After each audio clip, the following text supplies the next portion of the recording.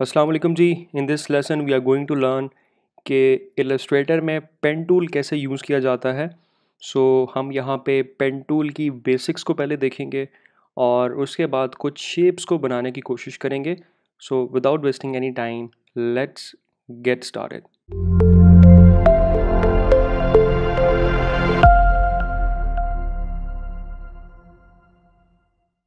तो इलस्ट्रेटर में मैंने एक और फ़ाइल क्रिएट की है। यहाँ पे कुछ एक्सपेरिमेंट्स करते हैं पेन टूल के साथ। तो पहले मैं आपको एक शेप ड्रॉ करके दिखाता हूँ। और इस शेप को अंडरस्टैंड कर दें ये शेप कैसे क्रिएट की गई है। सो so, अगर मैं शेप की सिलेक्शन करता हूँ और अपने डायरेक्ट सिलेक्शन टूल पे आता हूँ सो so, जैसे ही मैं डायरेक्ट सिलेक्शन टूल पे क्लिक करूँगा इस शेप के अंदर जितने भी एंकर पॉइंट्स हैं जिसकी मदद से ये शेप आपके सामने है वो सारे के सारे एंकर पॉइंट्स मुझे विजिबल हो जाएँगे। सो so, मैं इस डायरेक्ट सिलेक्शन टूल पे क्लिक कर रहा हूँ और यहाँ पे आपको कुछ एंकर पॉइंट्स नज़र आ रहे हैं। सो so, आपको चार एंकर पॉइंट्स नज़र आ रहे हैं जिससे मिलके ये शेप ड्रॉ की गई है। ठीक है? इसके बाद सर्कल की तरफ़ आते हैं। सर्कल को देखते हैं जिसमें कितने एंकर पॉइंट्स हैं। इसको हमने ड्रॉ किया। डायरेक्ट सिलेक्शन टूल पे आए और यहाँ पे भी आपको चार एंकर पॉइंट्स नज़र आ रहे हैं, ठीक है?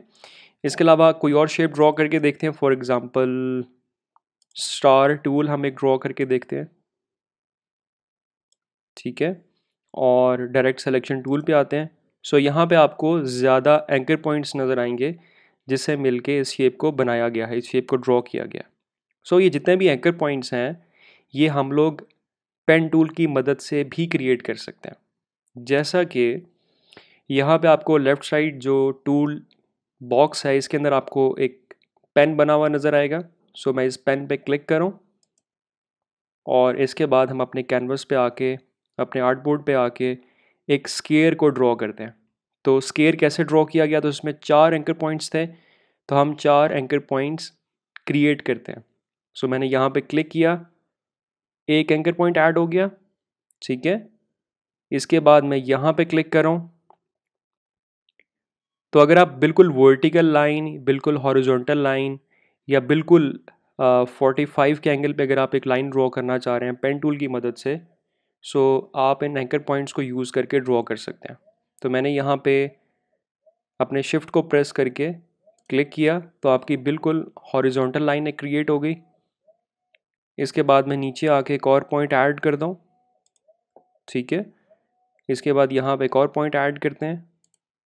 और अपनी शेप को क्लोज़ करते हैं।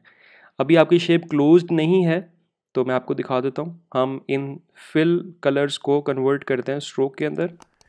तो यहाँ पे आप देख सकते हैं आपकी शेप अभी कंप्लीट नहीं है। सो इस शेप को हम कंप्लीट करते हैं। और अगर मैं वापस इनिशियल पॉइंट पे जाऊँ तो आपको पेन के साथ एक छोटा सा सर्कल बना हुआ नज़र आएगा। इसका मतलब है कि हम अपनी शेप को ड्रॉ करके इनिशियल पॉइंट पे वापस आ गए हैं और अब ये शेप हमारी क्लोज़ हो जाएगी। ठीक है? ये हमने एक स्केयर को ड्रॉ कर लिया और बिल्कुल वैसे ही जैसे हम आ, बाकी स्केयर्स को रीसाइज कर रहे थे उनको मूव कर रहे थे बिल्कुल हम इस स्केयर के साथ भी वैसा ही कर सकते हैं। ठीक है? तो हम दोबारा डायरेक्ट सिलेक्शन टूल पे क्लिक कर रहे हैं। तो यहाँ पे आप देख सकते हैं कि this square is made up of four anchor points ठीक है जी? इसके बाद आ, अगर आप कोई राउंडेड इमेज क्रिएट करना चाहते हैं जैसा कि हमारे पास एक सर्कल है तो सर्कल को क्रिएट करने के लिए हम क्या करेंगे? मैं यहाँ पे एक एंकर पॉइंट ऐड करूँ। तो पहले मैं आपको एक सर्कल दिखाता हूँ सर्कल किस तरह एंकर पॉइंट से मिलके बना हुआ है। सो so, इसका एक यहाँ पे एंकर पॉइंट है एक इस जगह पे है एक नीचे है बिल्कुल बॉटम पे और एक बिल्कुल लेफ़्ट साइड पे है। सो so, अगर हम बिल्कुल ऐसे ही एंकर पॉइंट्स ऐड करें और उन एंकर पॉइंट्स के जो एंगल्स हैं उनको कुछ इस तरह से एडजस्ट करें तो हमारा बिल्कुल एक सर्कुलर शेप क्रिएट हो जाएगी। ठीक है जी? तो पेन टूल लेते हैं। मैं यहाँ पे क्लिक करूँ।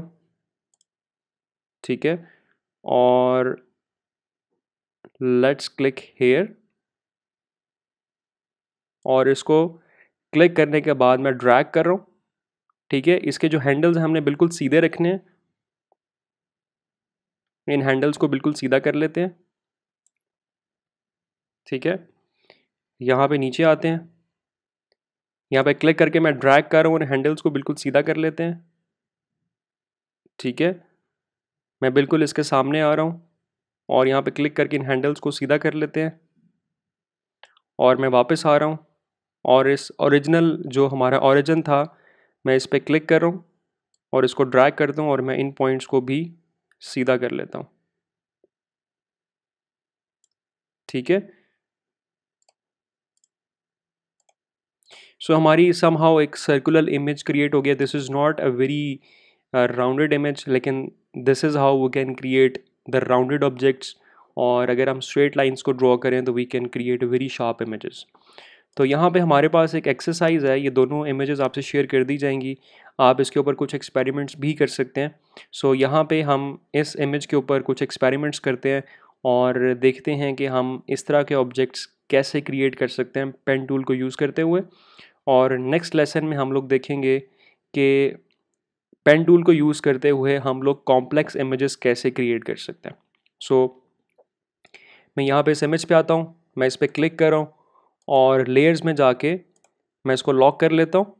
सो so, यहाँ पे आपको इसकी सिलेक्शन नज़र आ रही है मैं इसको यहाँ से लॉक करता हूँ और इस शेप को ड्रॉ करते हैं ठीक है? सो so, यहाँ से पेन टूल लेते हैं। सो पेन टूल जब भी आप यूज़ करें कोशिश करें कि उसका जो फिल है उसको नन कर दें और उसके स्ट्रोक को कोई भी आप कलर असाइन कर दें। सो so, इसको हम ब्लैक कर लेते हैं और फिल को नन कर लेते हैं। ठीक है जी? यहाँ से पेन टूल लेते हैं और मैं जो रेड डॉट्स हैं सिर्फ़ इसके ऊपर क्लिक करूँगा और हमारी एक शेप ड्रॉ हो जाएगी।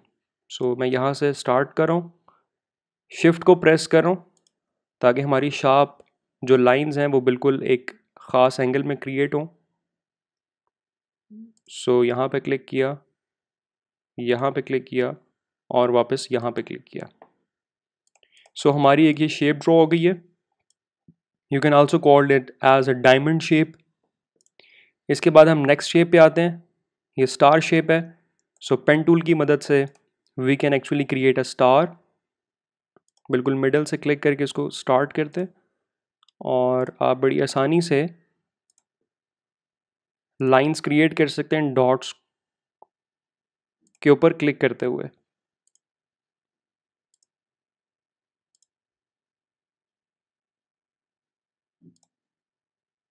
ठीक है? So this is how you can create a star इसके बाद हम इस शेप के ऊपर आते हैं। ये भी बिल्कुल वैसा ही very it's a very straight object दोबारा से पेन टूल लेते हैं। यहाँ से स्टार्ट करते हैं। और अपने इस ऑब्जेक्ट को क्रिएट कर लेते हैं।